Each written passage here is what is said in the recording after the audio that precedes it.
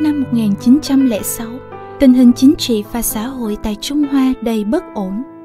Nhà Thanh bước vào những năm cuối suy tàn và bị các đế quốc bên ngoài đe dọa xâm chiếm. Vua Phổ Nghi đứng trước nguy cơ mất nước và buộc phải thoái vị. Trước bối cảnh rối ren về chính trị và đe dọa về chiến tranh như thế, phái đoàn truyền giáo của các Salesian dẫn đầu bởi cha Luigi Vexiglia đã đặt chân đến đây.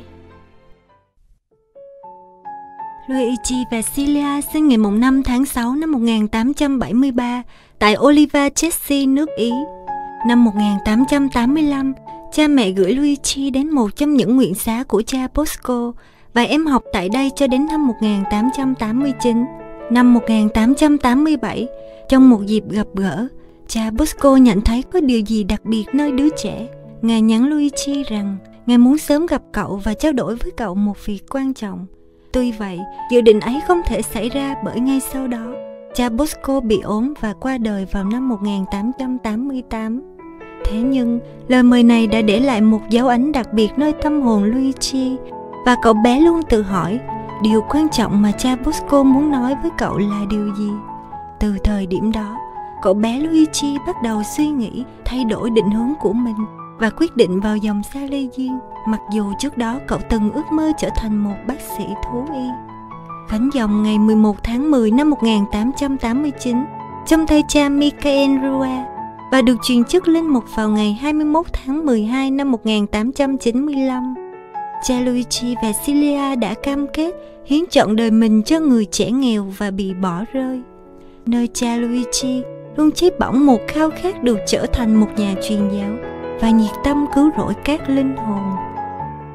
Ngay từ lúc sinh thời, cha Busco đã mơ về những miền truyền giáo xa xôi và những chân trời phát triển rộng lớn cho tu hội Sa Lê duyên Trung Hoa là một vùng đất đầy hứa hẹn, với sự đông đảo về dân số, sự rộng lớn về tầm ảnh hưởng văn hóa trong khu vực. Sau thời gian thành lập và củng cố tu hội, năm 1906, quả là một năm đầy thuận lợi để thực hiện ước mơ này của cha Bosco. Lời mời đầu tiên được gửi đến cha Cornello, lúc đó là giám tỉnh và bề trên của cha Luigi. Tuy vậy, vì lý do sức khỏe, cha Cornello không thể lên đường. Biết rõ khao khát của cha Luigi, cha Cornello đã chuyển lời đề nghị ấy sang cho ngài và tiếng xin vâng nhanh chóng được đáp lời. Ngày mùng 7 tháng 1 năm 1906, phái đoàn do cha Luigi dẫn đầu đặt chân đến Macau. Khởi đầu, cha mở một cô nhi viện đặt tên là Mẹ Vô Nhiễm. Công cuộc phát triển mau lẹ và nơi đây trở thành nhà mẹ của các xa lê diên miền Viễn Đông. Các hoa trái của lòng nhiệt thành mau chóng trổ sinh, các công cuộc tại Hương Sơn, Tiều Châu được hình thành và cha Luigi được bổ nhiệm là bề trên xa lê diên tại Trung Hoa. Năm 1918, một sự kiện đặc biệt đã xảy ra và ghi đậm dấu ấn trong lòng cha Luigi. Nhân dịp một nhóm các nhà truyền giáo mới được gửi đến Trung Hoa, cha Ambera gửi tặng cha Luigi một chén thánh. Lúc bấy giờ, cha Luigi thay hai tay nâng chén thánh, ngắm nghía như một báu vật và gần như thấy một thị kiến từ xa. Cha nói, Cha mang cho tôi chén thánh, gợi nhớ những ngày sống ở tập viện xa xưa. Vậy, tôi xin đón nhận Nobosco đã nhìn thấy những vụ việc truyền giáo ở Trung Hoa và đã tuyên đoán về một chiến thánh đầy máu của các con cái mình. Lúc này, chiến thánh được gửi tặng tôi, thì tôi có trách nhiệm làm cho nó được đầy máu của tôi. Ngày 9 tháng 1 năm 1921, cha được Đức Giáo hoàng Benedicto XV bổ nhiệm làm giám mục với khẩu hiệu Vâng lời thầy, con sẽ thả lưới. Cõi lòng của Đức cha và Cilia luôn thao thức hãm mình, hy sinh đền tội, bởi vì Ngài xác tính rằng Hoán cải linh hồn chẳng phải là công việc bầm dập đầu tóc mặt tối, nhưng là công việc của ơn Thánh Chúa ban do hy sinh và cầu nguyện.